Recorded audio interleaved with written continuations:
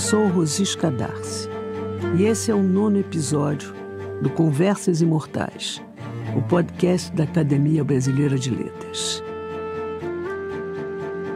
Nesse podcast, você conhece um pouco melhor 12 autores e autoras que ocuparam uma cadeira na nossa academia.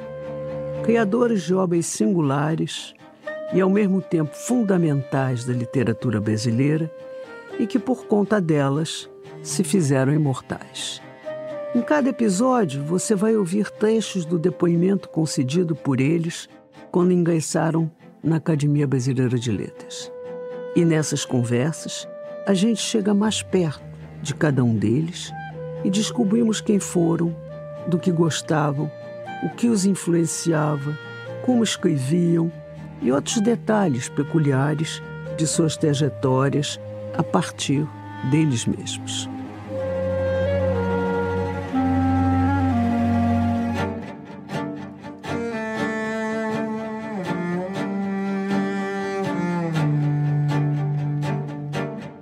Nesse episódio, ouvimos o depoimento de Ivo Pitangui, que além de médico, foi também uma espécie de artista. Pitangui nasceu em Minas Gerais. Sua mãe foi uma poetisa atenta aos movimentos culturais e seu pai, um médico cirurgião, com quem aprendeu a valorizar os aspectos espirituais da experiência humana. Durante a adolescência, como ainda não existiam as chamadas distrações midiáticas, ele dedicou a maior parte do tempo aos estudos e aos esportes, principalmente à natação, e chegou a competir ao lado de Fernando Sabino. Anos mais tarde, Pitangui percebeu que essa dedicação ao esporte durante a juventude lhe ensinou a ser disciplinado e rigoroso com as escolhas que fazia em relação ao seu próprio tempo, o que foi fundamental para a carreira que escolheu. Como médico, rodou o Rio de Janeiro dentro de uma ambulância e conheceu a realidade da população carioca e da boemia também, travando relações com ícones da noite como Madame Satã. A decisão pela especialização na área da cirurgia plástica era motivada pelo interesse em devolver aos seus pacientes a autoestima e o sentimento de pertencimento à sociedade. E se tornou referência na área da cirurgia plástica, que na época ainda era uma novidade no Brasil. Ivo teve, inclusive, um papel significativo no atendimento e recuperação de vítimas do incêndio do grande circo norte-americano, tragédia que comoveu o país em 1961. Pitangui nutria uma relação com seus orixás e acreditava que a conexão com Deus não dependia de religiões, mas sim da crença de cada indivíduo. Para ele, a medicina era como uma continuidade terrena do trabalho divino. Em 1991, ele tomou posse da cadeira número 22 da Academia Brasileira de Letras. No depoimento que vamos ouvir a seguir, ele diz que se considerou um sortudo por encontrar na ABL grandes representantes da literatura e cultura brasileiras a quem via como verdadeiros amigos. Vamos a ele.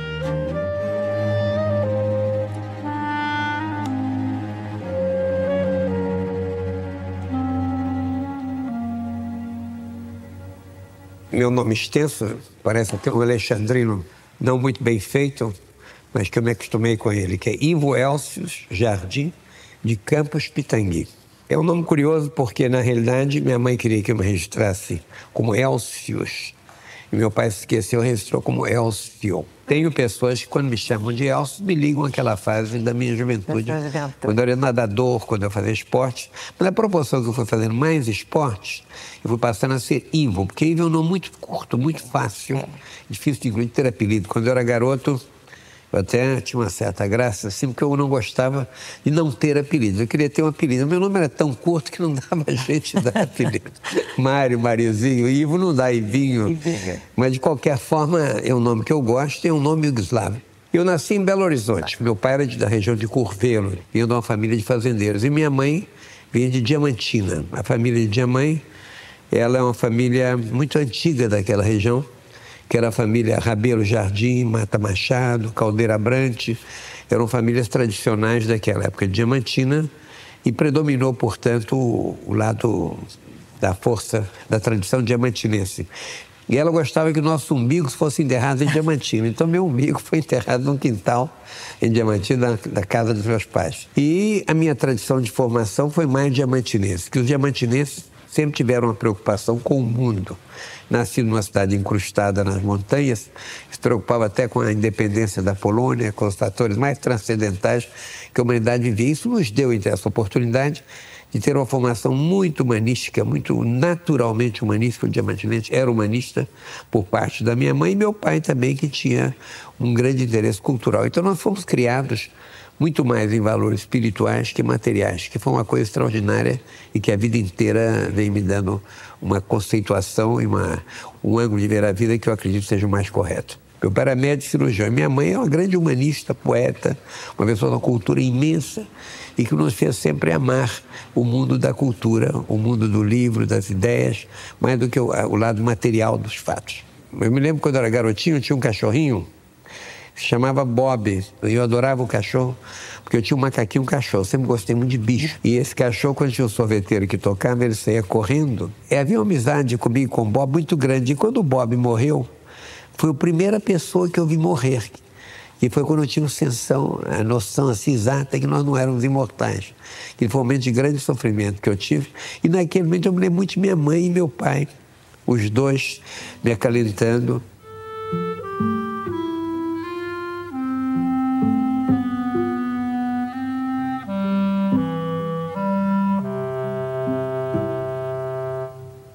naquela época se o grupo escolar, não havia escolas privadas, o grupo escolar era normal, nem creio que eh, Belo Horizonte houvesse ainda escolas particulares para garotos. Era normal. A escola pública eu sempre defendia, quando boa era melhor, porque havia um contato direto com a vida e que chegava em casa, nós tínhamos nosso futebol. Depois, então, mais tarde, é que nós nos mudamos e fomos para o outro, perto do Minas Tênis Clube, e ali começamos, então, uma vida já mais esportiva. Com a fundação do Minas Tênis Clube, nós passamos a ter um esporte competitivo, disciplinado, organizado, e no que nós colocamos todas as nossas energias ali. Então, naquela época, junto com Fernando Sabino, meu grande amigo, nós fomos nadadores, fomos, inclusive, campeões nacionais dos 11 aos 16 anos. Portanto, uma disciplina enorme. Nadávamos pela manhã, depois íamos da escola, voltávamos, hoje está frio aqui no Rio, me lembro daquele frio de Belo Horizonte, e ganhávamos em todo lugar, inaugurávamos piscinas, andávamos por toda parte. Depois de 16 anos, não queríamos mais nadar.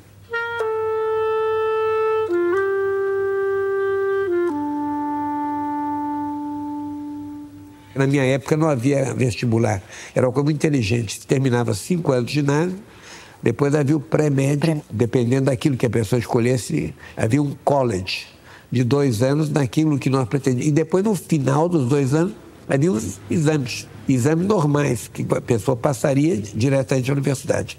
Que é como nos Estados Unidos. Naquela época não havia televisão, o cinema era uma vez por semana, nós não tínhamos toda essa explosão que a mídia teve hoje, que facilita a dispersão. E o livro era o instrumento mais moderno que nós tínhamos. Até hoje é muito moderno, porque não precisa de tomada, não precisa de nada. Mas que nós líamos muito, eu peguei o hábito muito bom naquela época com meus pais e eu gostava muito de ler. E como eu gostava de ler, sem querer você encontra com outros amigos que gostavam de ler também. Nós tínhamos aquele grupo lá em Minas, que era o Otto, o Fernando, o, o Hélio Pellegrino, uma série de pessoas o Rubião, que eram amigas. Os bailes do Automóvel Clube eram famosos, porque na realidade nós éramos carnavalescos. Mas é uma coisa curiosa que havia uma certa pureza na época. Todos usavam lança-perfume, jogavam nos outros e cheiravam muito. Mas acabava o carnaval, qualquer pessoa que tocasse aqui era mal vista. Mas o carnaval era uma explosão, como o carnaval de Molière, como naquela época que nós tínhamos todo, que tudo era havia uma retenção muito grande, era uma explosão. Porque em Belo Horizonte nós éramos muito uh, retidos, nós éramos muito presos às convenções, e o carnaval não podíamos namorar, podíamos gritar, podíamos dançar. Então ele tinha, era quase uma necessidade, esperando pelo carnaval. E eu fui, então, na minha imaginação, fui tirolês, fui pirata, uh, fui toureiro, fui árabe, fui beduíno, fui um pouco de tudo. E nós fazíamos blocos. E, e esse era, então eu e Fernando participávamos muito dessas brincadeiras. E naquela época nós líamos menos autores nacionais e portugueses, porque na época de descoberta. Eu gostava de idiomas, já estava estudando inglês, aquela coisa, então era muito ligado à literatura inglesa, coisa curiosa em Belo Horizonte, garoto. E gostava muito de Huxley, Virginia Woolf, Bertrand Russell. Na realidade, nós gostávamos de ler aquilo e também eram os livros que nós conseguíamos.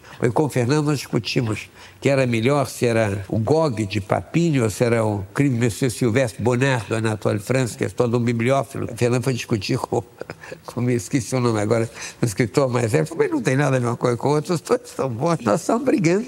Mas é engraçado que nós tínhamos essas tertúlias, mas eram brigas para valer mesmo, porque nós rasgávamos livros, e gostávamos de ler. Isso ainda não é fácil, nós mais garotinhos, né?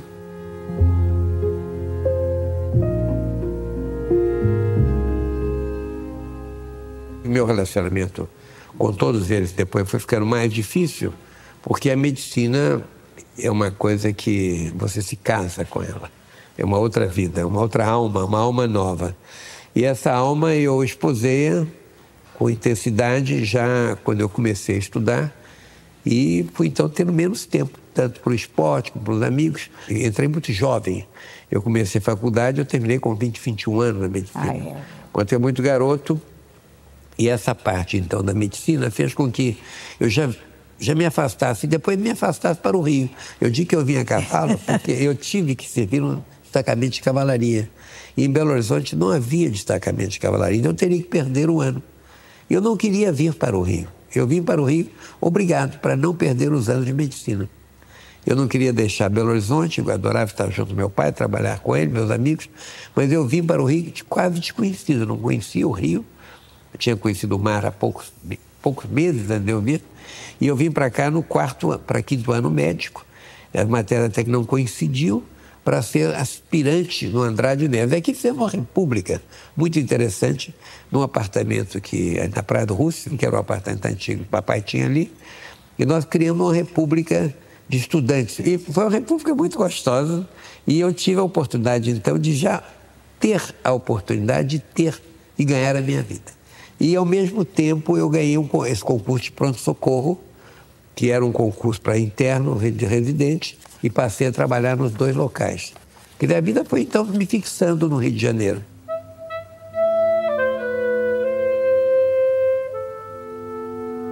Naquela época, eu atendia no pronto-socorro e, evidentemente, tinham cirurgias de urgência, mas tinham pessoas também deformadas. E eu notava que, muitas vezes, salvando uma vida, e não corrigindo as deformações, aquelas pessoas não estavam muito felizes. E eu passei a me preocupar, então, também por uma sutura mais aprimorada, um cuidado maior com aquelas lesões e dando importância àquela parte tegumentar, que na época não se dava tanta importância. E naquela época, nós saímos de ambulância, paramédicos não existiam. E na ambulância nós ficávamos no parto pronto-socorro, eu dava plantão de sábado para domingo, que era um dia muito pesado, e nós tínhamos aquela. Todos da ambulância tinham um papelzinho branco assim, P mal, quer dizer, passando mal. Ou então, trabalho de parto. Geralmente era o aborto que faziam em casa, que tinham que trazer a pessoa para o hospital, coitado, em sangue. Mas o fato é que naquele momento em que eu saí de ambulância, o menino curioso, ele foi então tendo a curiosidade dele enriquecida pelo contato real do Rio de Janeiro. O pronto-socorro no centro, ali perto da Central, então eu passei a conhecer todos os morros, toda Mangueira, todo Estácio, Laurindo sobre o Morro, toda essa parada de Lucas, todos esses eu conhecia e conhecíamos de uma forma muito interessante, porque aquele que vem com a ambulância é quem ia dar tratamento médico. Ele era muito bem recebido. Grande parte daquelas pessoas viviam do pronto-socorro, que foi uma instituição extraordinária naquela época. E eu tenho mil fatos pitorescos para contar nessa época. Eu me lembro que uma vez, operando uma noite, inteiro operando uma pessoa de tendões da mão aqui, procurando recuperá-los da melhor maneira que eu podia. E eu tinha um colega do lado que me chamou e falou assim, era um colega daquele bem durão, de pouca sensibilidade, falou assim, mas sabe que esse senhor o que, é que ele faz? Eu falei, não. Eu falei, é um batedor de carteira. Naquela época não se usava arma, né? Batedor de carteira, eu falei, é um artista. Mais um motivo de eu trabalhar com mais cuidado, não me cabe julgá-lo. E quando eu terminei, trabalhar a noite inteira, achei que tinha um bom trabalho, imobilizei a mão, e falei para o senhor que eu tinha operado, falei, olha, eu passei a noite inteira, como você observou, tendo muito cuidado com a sua mãe, eu não quero nada de você, apenas se por acaso você me encontrar um dia na minha carteirinha magra, você tenha cuidado com ela. Ele olhou e falou assim: Doutorzinho, eu sou tão profissional como o senhor, não tira a máscara, não. Madame Satã, por exemplo, que era uma personagem muito importante da Boemia da Lapa, eu conhecia muito bem, conhecia muito bem porque ela várias vezes, nós chamamos de ela porque ela gostava, na realidade era de briga. E ele dizia pro lábio que estava viado daqui para baixo, e lá para cima sou macho, toma, toma, que ela comandava toda, toda a parte da, da Lapa, toda aquela parte da, da prostituição da Lapa, tudo era aquilo comandado por ela naquela época. Depois ele, então, foi preso, foi para Ilha Grande. E eu, como tenho essa ilha, essa parte de ecologia, que é algo que eu gosto muito, Madame Satã tinha se libertar, mas não quis sair dali. Então ela tinha um pequeno peju. Ela se lembrar muito da minha época de pronto-socorro. Guardou a minha figura. E eu passei várias vezes ali, ele sabia onde tinha os robalos. Então me levava no barquinho que eu ia pegar uns robalos ali. Mas foi muito interessante esse reencontro do pronto-socorro com a realidade e da realidade na época com aquele momento de juventude que para mim era quase uma ficção, porque o Rio para mim era da glória, de onde eu morava ali, na Praia do Russo, até o pronto-socorro e os morros daquele lado. Só depois que eu vim conhecer outra parte do Rio.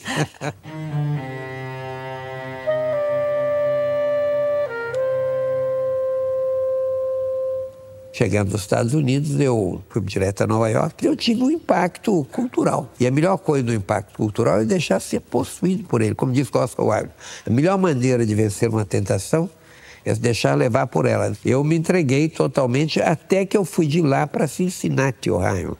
E tive um contato com a civilização realmente mais difícil, já que era aquela um descendente do Mayflower. Né? Ali é direto, você encontra todo o calvinismo, você encontra todo o sentido puritanismo. Que eu ganhei essa bolsa e era na época do, passada da Guerra da Coreia que eles tinham necessidade de médicos lá. E eu fui para Cincinnati como fellow.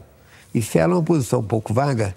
Depois passei a ser residente chefe em cirurgia plástica. Eles não gostavam de cirurgia plástica. Cirurgia plástica era mais a parte reparadora, são operações muito longas, demoradas, detalhadas. O cirurgião geral gostava mais de uma definição imediata. Então havia um cirurgião chamado Longacre, com quem eu tinha um acesso enorme. Ele voltava da Inglaterra, onde posteriormente eu fui completar também meu ensino com os meus mestres dele, e que era uma pessoa que ficou minha amiga muitos anos, até que ele morresse, que era um gentleman e que me tomou como filho e me durante dois anos eu um convívio muito bonito. De lá, então, eu voltei da Inglaterra, dentro desse sentido de pós-graduado, vim para o Brasil, voltei ao pronto-socorro e uh, me colocaram numa ambulância no MEA. E, curiosamente, era o, eu tinha feito um relatório muito grande das minhas atividades na América, que foi publicado na Revista Brasileira de Cirurgia. E, naquela época, o prefeito Mendes de Moraes tinha lido o relatório, não sabe como, o prefeito também que relatório. E ele então falou, como é que mandaram esse garoto que sabe tanta coisa para andar de ambulância no MEA? Vamos colocá-lo como cirurgião de novo na sua posição no pronto-socorro. E eu voltei e fundei um serviço de cirurgia de mão e cirurgia plástica, que foi o primeiro aqui na, na, América. Eu levava os doentes que eu trabalhava no pronto-socorro para lá. Então, aos poucos, eu fui aumentando e, com uma forma um pouco socrática, eu sempre tive um grupo de pessoas ao meu lado. Mas aí, eu ia ensinando, sempre gostei de estudar. Mas aí eu senti que não sabia o bastante ainda e fui para, os, para a França como assistente étranger para Paris, que foi um período muito importante, muito rico na minha vida. Quando eu saí dali, eu fui para a Inglaterra e na Inglaterra eu realmente fixei os meus conhecimentos de cirurgia plástica dentro da escola inglesa, que foi um longo trabalho. E quando eu voltei ao Rio, fundei aqui a 38ª Enfermaria em concurso, então nessa enfermaria eu resolvi começar a transmitir, achando que guardar os conhecimentos adquiridos seria uma falta de dever hipocrático, eu teria que transmiti-lo, semear o que eu tinha aprendido e criei uma escola que hoje em dia que é o que me dá a verdadeira imortalidade. E eu, com toda modéstia, eu posso dizer que esse nosso curso de formação é considerado o curso mais importante, não daqui, mas do mundo. E aos poucos eu fui sentindo que o hospital, que a clientela estava me consumindo se eu não me organizasse. Então a ideia de fazer a clínica foi, já tendo uma clientela, procurar um local em que eu pudesse atender meus pacientes e ao mesmo tempo criar a minha biblioteca ter um, um, grupo de trabalho permanente em que eu pudesse trocar ideias do ponto de vista do que é a parte criativa que emana da experiência clínica e, ao mesmo tempo, ter um ponto de encontro entre a Santa Casa, a minha clientela, a minha vida, que seria a clínica, é o ponto de união. Então, é o ponto de equilíbrio. E o core de toda a minha vida foi ter criado a clínica com essa dimensão.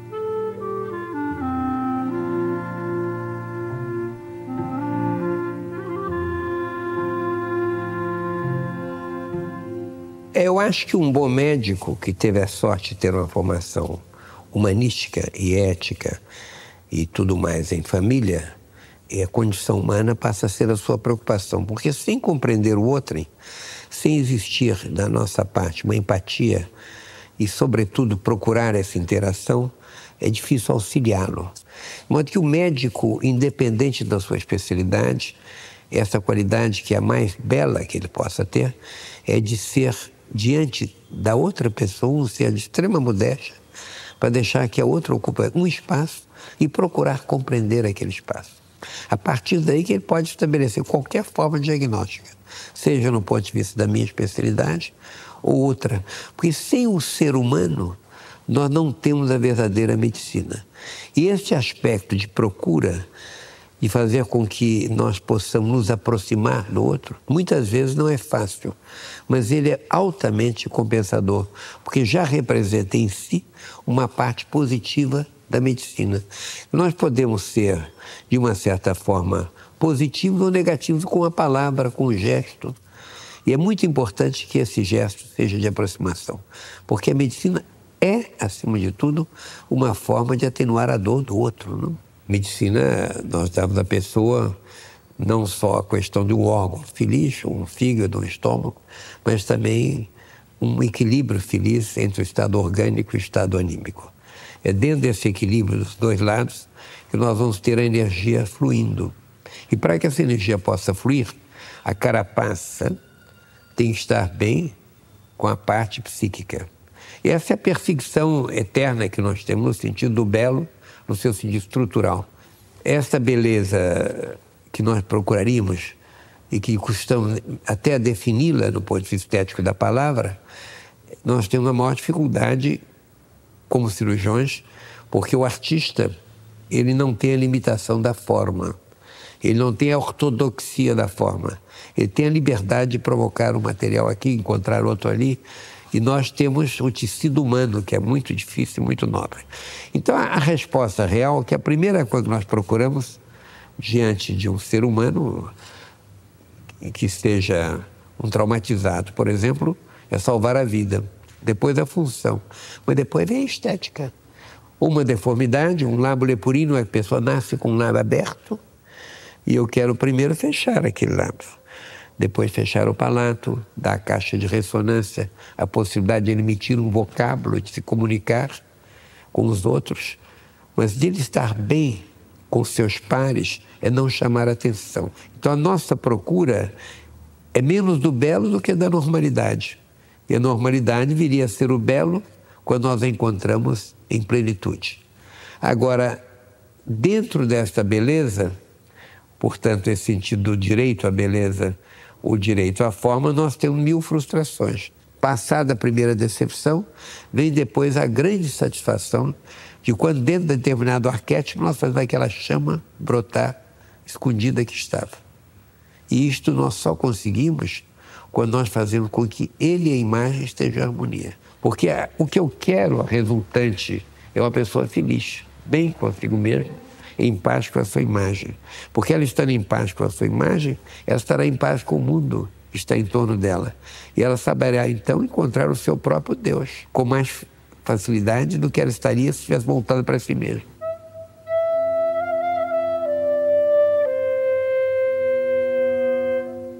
Evidente que existe um sacrifício de tempo. Evidente que eu vejo muito menos meus amigos que eu gostaria de vê-los. É evidente que eu faço muito menos esporte eu gostaria de fazer. Mas nisso tudo tem que ter opção principal. Para mim é o meu trabalho em relação aos meus pacientes e a minha parte de ensino, de formação de outros especialistas.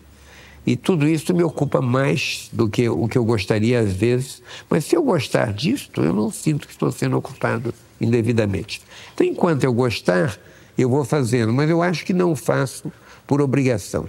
Então, o que eu acho na vida fundamental é a gente ter a sorte de gostar do seu métier. Quando a gente tem, as coisas são agradáveis. Agora, é verdade que eu procuro distribuir um pouco o tempo e ou bastante para que eu tenha um pouco de tempo para outras coisas e não fique um soldadinho e não fique com antolhos e que eu tenha uma visão do mundo e que me interesse por arte, me interesso por outras coisas e viajando eu consigo às vezes fazer isso um pouco. Uma das coisas fundamentais é o fim de semana.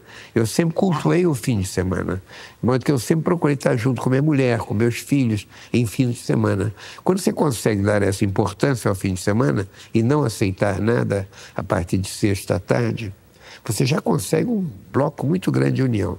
E tem uma coisa que é curiosa, uma das coisas que mais me falta é o tempo, muitas vezes, de você se dedicar o devaneio criativo de você mesmo, não é verdade? E fazer, escrever, e mesmo aqui a academia, que eu adoro a academia, gosto tanto dos meus colegas, que todos meus confrades, como se diz, tão queridos, mas eu tenho pouco tempo de vida e quando venho aos locais venho sempre cansado, porque a primazia é o trabalho. É o trabalho. Então eu trabalho muito, muito, muito. O tempo de lazer eu faço com que ele pareça mais amplo, mas infelizmente é curto. É. Agora, todas as manhãs, quando eu levanto, aproveitando o tempo. Eu tenho cinco cachorros em casa, eu já ando com meus cachorros. Eu, por invés de ter personal trainer, eu sou personal trainer do meu segurança, que eu tenho dois, sou muito simpático comigo há muito tempo. Então, um já perdeu 12 quilos comigo. E eu, toda manhã, ele segue aquele exercício, fazemos exercício. Hoje, já caminhando 20 minutos, depois vamos à beirada da piscina, fazendo 20 minutos de ginástica, depois nado 10 minutos, depois que eu vou trabalhar. É uma disciplina. É muito importante você ter uma certa noção de tempo que a maior parte das pessoas não tem. Não. Agora, eu não sou uma pessoa chata quanto ao tempo, mas eu sou chata quanto ao meu tempo. Então, eu tenho assim, de ser muito rigoroso comigo mesmo. A vida inteira fui muito disciplinado nesse aspecto. Daí eu tenho gostar do esporte, a natação, depois fiz muito tênis, fui campeão universitário, fui campeão de Minas Gerais, de primeira classe de tênis. De modo que eu fiz muito esporte, sempre naquela fase, aí já junto com os estudos. Era o esporte que tinha menos disciplina que a natação e permitiam associar. Mas o esporte sempre tive essa noção que obriga a pessoa a aprender a perder. Eu fiz 12 anos de karatê, eu sou o segundo dan. E isso tudo nos deu ainda mais disciplina também. Porque em karatê, quando é bem feito, você faz muito mais de uma forma espiritual do que de uma forma agressiva. Você aprende a dominar os seus instintos. Você aprende a ter a sua força interna. Tem muito de zen, e você aprende a ter uma força contida. E essa força contida é que você tem o que há, que é a explosão. Você então não tem que se provar, não tem que agredir ninguém. Então tem que sofrer certas ofensas, a não ser que elas sejam extremas. É, um, é totalmente o oposto você vê nos jornais, de briga de lá, briga de cá, nada disso. É uma questão de conceituação, de você guardar a energia, de aprender a dominá-la e você ter essa energia de tal forma contida e de tal forma dominada que você possa se prescindir de utilizá-la, até sabendo que ela está ali.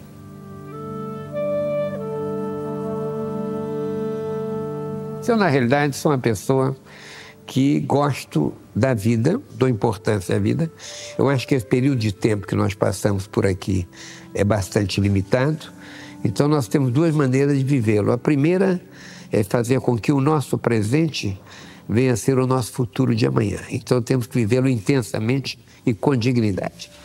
E o segundo é nós temos o sentido da ilusão humana que nosso ego pode nos dizer que nós somos imortais.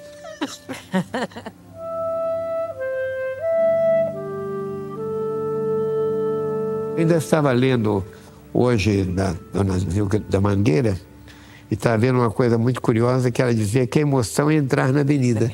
E eu não conhecia essa emoção e, por sorte, eu pude conhecê-la. Quando você entra na avenida, vê aqueles milhares, milhões de pessoas ali, você não sabe se vai ser aplaudido ou vai. Quando começa a cantar a sua música, realmente é uma glória. Aquilo dá uma emoção, você não consegue repeti-la. Aquele refrão está sempre comigo. Porque a letra, inclusive, ela diz coisas assim, que o amor faz rejuvenescer. O importante é viver. Né?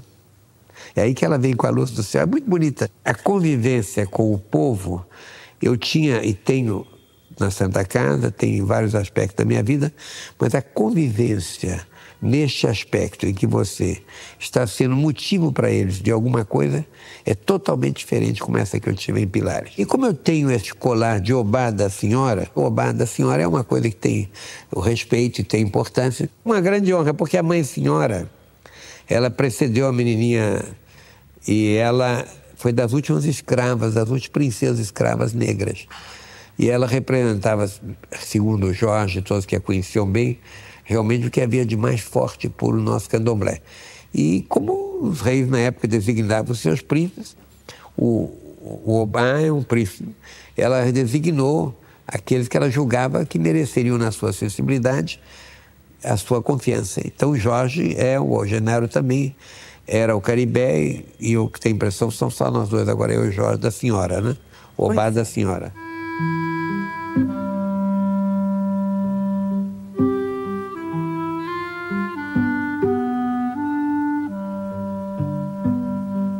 Marilu foi uma pessoa admirável e que eu a conheci na casa do professor Vinélio Batista, aqui no Rio.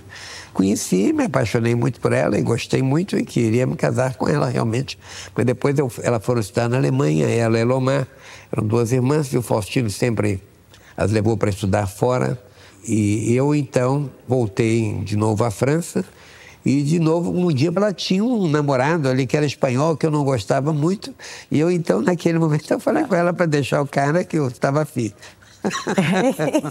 é, aí nós tomamos uma decisão bonita que perdura até hoje, 40 e tantos anos depois. A vida de família, naturalmente, vai mudando. Né? Quando as crianças eram pequenas, eu colocava-as primeiro num barco, íamos para Angra, ou colocava-as, todos íamos de, de automóvel para Itaipava, que ainda guardamos a casa e gostava muito lá ou posteriormente depois íamos para a Suíça nos, nas férias. Agora já tem seus filhos, é. cada um tem.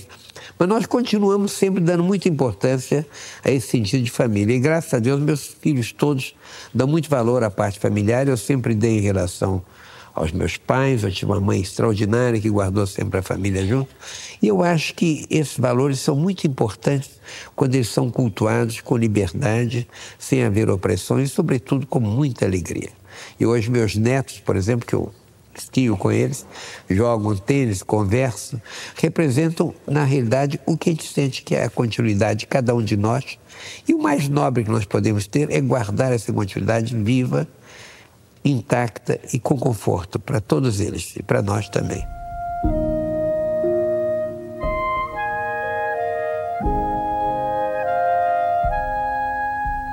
Mas a Raquel, ela é uma pessoa extraordinária. Inclusive, ela telefonou para mim quando eu estava em Paris. Falou com a minha filha Gisela que achava que eu devia tentar entrar nessa vaga, que ela gostaria muito que eu fizesse. E eu fiquei, na hora, tomei um susto. Ah, entrar para a academia é uma coisa que, para mim, não fazia parte dos meus sonhos. E, embora a academia tenha essa parte cultural toda, mas depois eu senti que era uma coisa. A partir deste momento, eu contei então com amigos aqui muito fiéis, e naturalmente entre eles o Carlinhos Chagas, que foi extraordinário, com a Ana, extraordinário, Josué Montelo a, e Raquel, e todos os outros praticamente que estão aqui foram grandes amigos. E de modo que eu acho que a minha eleição foi uma eleição muito prazerosa, mas eu tive a sorte muito grande de uh, sentir que o que eu gostaria de ter pelo que eu conheci, era o convívio com eles. Olha, eu acho que a academia está cumprindo o seu papel, porque todas as academias têm um papel já da representação das pessoas que a compõem. Evidentemente que o papel principal é o papel da língua, é o papel de manter a cultura nacional, é o papel de ser uma fonte de referência de cultura, de ética e de moral em todos os aspectos que se relacionam com a palavra, se relacionam com a criatividade. E a academia tem sido isso.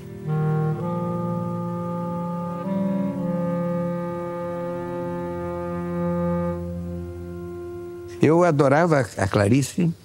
Eu acho que quando eu conversava com ela, eu sentia que faltava tanta coisa para realizar ainda. Eu acho que nós todos, quando nos julgávamos realizados, não temos nem razão mais de estarmos aqui. Nós estamos aprendendo. E eu digo que o chat morrer é que a gente para de aprender. Não? As coisas que eu fiz, na realidade, graças a Deus, eu não me arrependo de tê-las feito. Talvez algumas devessem ter feito com mais intensidade, outras com menos. Nós todos podemos ser rigorosos fazendo um comentário a respeito nosso, assim, flashback. Agora, Eu, não, eu, eu sempre deixei que as coisas fossem acontecendo. O futuro realmente tem glória quando se vive com intensidade e o presente com verdade. E eu acho que outras circunstâncias seguramente virão a me trazer uma dificuldade de decisão, mas eu acho que a decisão é fundamental em todos os momentos da vida.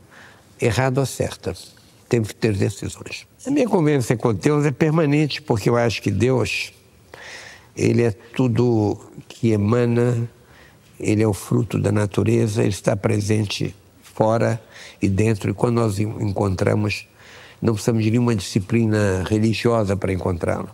Eu acho que encontrá-lo é um estado de espírito quase permanente que nós devemos exercitá-lo. Agora eu sinto que eu sou um aprendiz das coisas dele e que nós podemos às vezes completar um trabalho ou outro que por falta de tempo ele não teve tempo de completar, mas sempre a sua imagem. Olha, uma mensagem de vida que eu poderia dizer é se nós conseguirmos fazer da nossa vida uma obra de arte, que essa obra de arte não termine nunca, nós estamos sempre com um sentido de ilusão humana de prosseguirmos e de vivermos. Porque no momento que nós conceituarmos o, exatamente os fatos, delimitarmos, nós não estamos vivendo. Nós temos uma causa, mas a vida é mais importante que qualquer causa.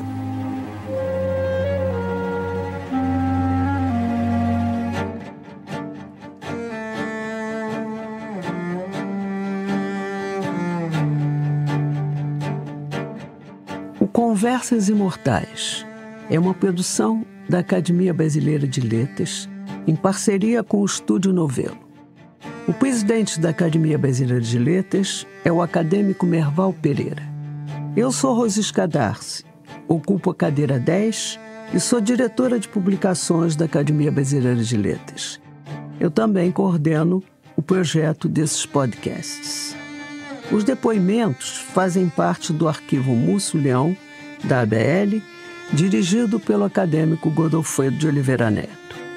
A pesquisa foi de Maria Oliveira, o desenvolvimento de conteúdo é de Cristina Aragão. A produção é da Ashley Calvo. A direção de locução é de Evelyn Argenta. A edição dos depoimentos foi feita pela Luísa Silvestrini. O desenho de som é da Mariana Leão. A trilha sonora original foi composta pela Aline Gonçalves e usamos trilha adicional da Blue Dot. A mixagem foi realizada pelo Pipoca Sound. A produção executiva do Estúdio Novelo é da Marcela Casaca. A coordenação do projeto pelo Estúdio Novelo é de Juliana Jäger. A responsável pela distribuição é a Bia Ribeiro. A identidade visual é da Academia Brasileira de Letras. Até o próximo episódio.